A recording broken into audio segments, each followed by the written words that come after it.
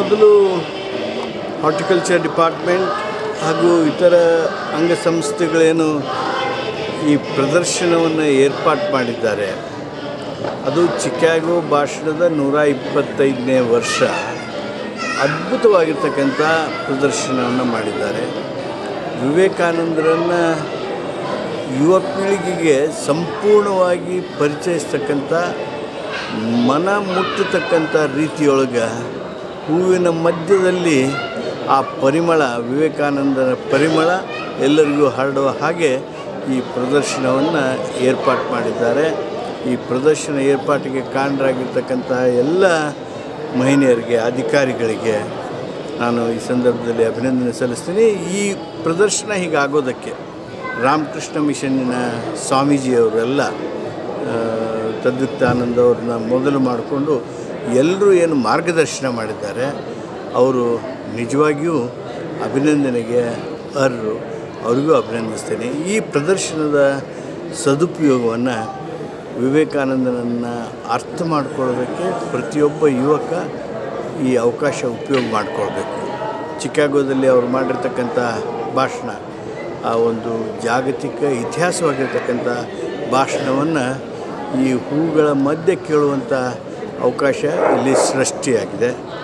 ಇತಿಹಾಸ ಮೆಲುಕು ಹಾಕ್ತಕ್ಕಂಥ ಹಾಗೂ ಈ ಪ್ರದರ್ಶನದಿಂದ ಹಲವಾರು ಚಿತ್ರಪಟಗಳೇನಿವೆ ಆ ಚಿತ್ರಪಟಗಳ ಮೂಲಕ ನಾವು ಪ್ರೇರಣೆ, ಸ್ಫೂರ್ತಿ ಪಡಿತಕ್ಕಂಥ ಒಂದು ವಿಶೇಷ ಸಂದರ್ಭ, ಅವಕಾಶ ಇದಾಗಿತ್ತು ನಂದು.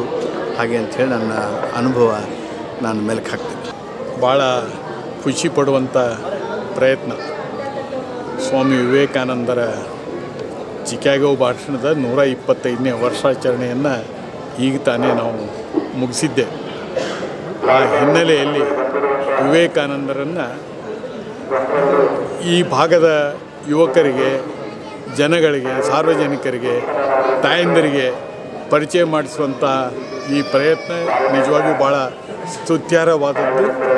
ಆ, ಇದಕ್ಕೆ ಯಾರ್ಯಾರು ಸಹಕಾರ ಮಾಡಿದ್ದಾರೆ? ವಿಶೇಷವಾಗಿ ಕರ್ನಾಟಕ ಸರ್ಕಾರ ಹಾರ್ಟಿಕಲ್ಚರ್ ಡಿಪಾರ್ಟ್ಮೆಂಟು ಮತ್ತು ನಮ್ಮ ರಾಮಕೃಷ್ಣ ಮಿಷನಿನ ಎಲ್ಲ ಸ್ವಾಮೀಜಿಯವರಿಗೆ ಎಷ್ಟು ಕೃತಜ್ಞತೆ ಹೇಳಿದರೂ ಕಡಿಮೆ. ಕಳನಾಥಾನಂದ ರಾಮಕೃಷ್ಣ ಮಠ, ಬೆಂಗಳೂರು. ಎಲ್ಲ ಪೂರ್ತಿ ನೋಡ್ತಾ ಇದ್ದರೆ ಎರಡು ಮೂರು ವಿಚಾರ ಭಾಳ ಅದ್ಭುತವಾಗಿ ಕಾಣಿಸುತ್ತೆ. ಒಂದು, ಪ್ರಕೃತಿಯಲ್ಲಿ ಎಷ್ಟು ವಿಸ್ಮಯ ಇದೆ ಅಂತ ಹೇಳಿ ಒಂದೇ ಜಾಗದಲ್ಲಿ ಲಾಲ್ಬಾಗ್ ಅವರು ತಂದಿಟ್ಟಿದ್ದಾರೆ. ಪ್ರಕೃತಿಯಲ್ಲಿ ಸಾವಿರಾರು ರೀತಿಯಾದ ಫಲಪುಷ್ಪಗಳಿರ್ತದೆ. ಆ ಪುಷ್ಪಗಳನ್ನೆಲ್ಲ ಒಂದು ಕಡೆ ತರಬೇಕಂದ್ರೆ the organisation skill of Lal Bagh people director deputy director ಇದ್ದಾರೆ. ಅದರಿಂದ ಅವರು ಎಷ್ಟು ಆರ್ಗನೈಸ್ಡ್ ಆಗಿ ಇದನ್ನೆಲ್ಲ ತಂದಿಟ್ಟಿದ್ದಾರೆ, ಅದನ್ನು ನೋಡಲಿಕ್ಕೆ ಭಾಳ ಸಂತೋಷ ಆಗ್ತದೆ. ಆಮೇಲೆ ಇದು ಯಾರು ಬರ್ತಾರೋ ಅವ್ರಿಗೂ ನಾನು ವಿಶೇಷವಾಗಿ ಹೇಳ್ತೇನೆ, ಪ್ರತಿಯೊಂದು ಕೂಡ ಸೂಕ್ಷ್ಮವಾಗಿ ಗಮನಿಸಿ. ಯಾಕಂದರೆ ಹ್ಯೂಮನ್ ಎಫರ್ಟ್ ಒಂದು ಕಾರ್ಡ್ ಬಳಸೋ ಸಲೀಸು. ಆದರೆ ಒಂದು ಗಾರ್ಡನ್ ಡೆವಲಪ್ ಮಾಡಬೇಕಂತಂದರೆ ಅದರಲ್ಲಿ ಸಾಕಷ್ಟು ಪುರುಷ ಪ್ರಯತ್ನ ಇರ್ತದೆ. ಆ ಪುರುಷ ಪ್ರಯತ್ನವನ್ನು ಯಾವ ರೀತಿ ಆರ್ಗನೈಸ್ಡ್ ಆಗಿ ಮಾಡಿದ್ದಾರೆ ಅಂತ ತಿಳ್ಕೊಬೇಕಂದ್ರೆ ಲಾಲ್ ಬಾಗ್ ಬಂದು ನೋಡಬೇಕು. ಆದ್ದರಿಂದ ಈ ಪ್ರಕೃತಿ ವಿಸ್ಮಯವನ್ನು ನೋಡಲಿಕ್ಕೆ ಪ್ರತಿಯೊಬ್ಬರಿಗೂ ನಾನು ಕೇಳ್ಕೊಳ್ತೇನೆ. ಹಾಗೂ ಇದು ಜೊತೆಗೆ ಇನ್ನೊಂದು ಏನು ಅಂತಂದರೆ ವಿವೇಕಾನಂದ ಜೀವನ ಮತ್ತು ಸಂದೇಶಗಳನ್ನು ಕೂಡ ಜೊತೆಗೆ ನೋಡ್ಬೋದು. ಅದು ಒಂದು ಇದು ವೈಶಿಷ್ಟ್ಯ. ಎಷ್ಟು ಆರ್ಗನೈಸ್ಡ್ ಆಗಿ ಎಷ್ಟು ಸ್ಟ್ಯಾಚ್ಯೂ ತಂದು ಠಾಕೂರ್ ಶ್ರೀರಾಮಕೃಷ್ಣ ಶ್ರೀಮಾತೆ ಶಾರದಾದೇವಿ ವಿವೇಕಾನಂದರದ ಹಲವು ಚಿತ್ರಗಳು. ಈ ಹೂವಿನೊಂದಿಗೆ ಒಳಗಿನ ಮನಸ್ಸಿನ ಪುಷ್ಪವನ್ನು ವಿಕಾಸಗೊಳಿಸಲಿಕ್ಕೆ ಎಷ್ಟು ವ್ಯವಸ್ಥಿತವಾಗಿ ಮಾಡಿದ್ದಾರೆ, ಅದನ್ನು ನಾವು ಈ ಲಾಲ್ಬಾಗಲ್ಲಿ ನೋಡ್ಬೋದು. ಎಲ್ಲರಿಗೂ ಕೂಡ ನಾನು I give a big hand of congratulations to all the people who have made is effort and congratulations to all of them. Thank you. We very much happy to have here the Lal Bagh that flower show which has been made on the Swami Vivekananda this year. And most of the Swamijis from the Basavanguri Math and the Altur Ramakrishna Math have come here. We have uh, liked this place and theme also very wonderful. And especially behind our pass, we can see this, uh, what you call this, uh, uh, the Swamiji in, uh, what is that place called? No, no, no, here, here, that behind this here, theme. Kanyakumari, Kanyakumari. It's an ex- ex- excellent place and it is reminding us the theme of that incident of Swami Vivekananda's in, which took place in Kanyakumari. We really like this place, uh, arrangement, excellent, marvelous. we express our thankful gratitude.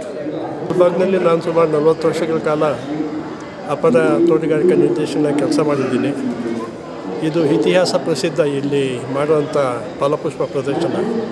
ಅದರಲ್ಲೂ ಕೂಡ ಇವತ್ತಿನ ಫಲಪುಷ್ಪ ಪ್ರದರ್ಶನ ಏನಿದೆ ಭಾಳ ವಿಶೇಷವಾದಂಥದ್ದು ಭಾಳ ಆಕರ್ಷಣೀಯವಾಗಿದೆ. ಬಹಳಷ್ಟು ಜನ ಬಂದು ಇದನ್ನು ವೀಕ್ಷಣೆ ಮಾಡಬೇಕು. ಮತ್ತು ಇದು ಏನಂತ ಹೇಳಿದ್ರೆ ಪ್ರತಿಯೊಬ್ಬರು ಮನೆಯಲ್ಲಿ ಸಸಿ, ಗಿಡ ಅವನ್ನೆಲ್ಲ ಬೆಳೆಸಬೇಕು, ಮತ್ತು ಪರಿಸರವನ್ನು ಕಾಪಾಡಬೇಕು ಅನ್ನೋ ದೃಷ್ಟಿಯಿಂದ ಈ ಫಲಪುಷ್ಪ ಪ್ರದರ್ಶನವನ್ನು ಸುಮಾರು ಸಾವಿರದ ಒಂಬೈನೂರ ಸಾವಿರದ ಒಂಬೈನೂರ ಹದಿನೆಂಟನೇ ಇಸ್ವಿಂದನೂ ಮಾಡ್ಕೊಂಡು ಇದ್ದಾರೆ.